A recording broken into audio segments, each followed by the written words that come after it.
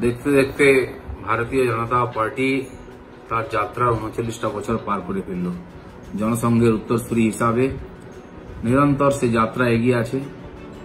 কোটি কোটি কার্যকর্তা, কর্মী তাদের রক্ত জল করা পরিশ্রমে আজকে ভারতবর্ষের সবচেয়ে বড় রাজনৈতিক পার্টিতে পরিণত করেছেন।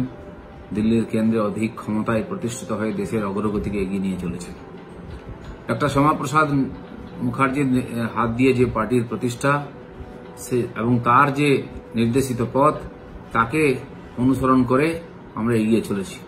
আগামীকাল ছয় এপ্রিল পার্টির চল্লিশতম প্রতিষ্ঠা দিবস।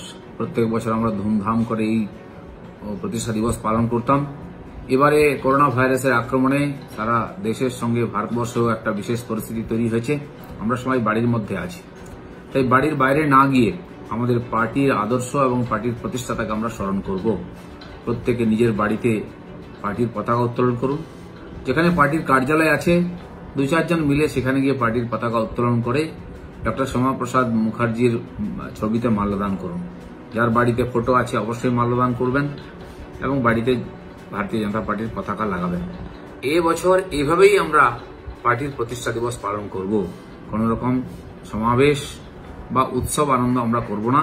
কেবল আমাদের আদর্শকে মনন করব।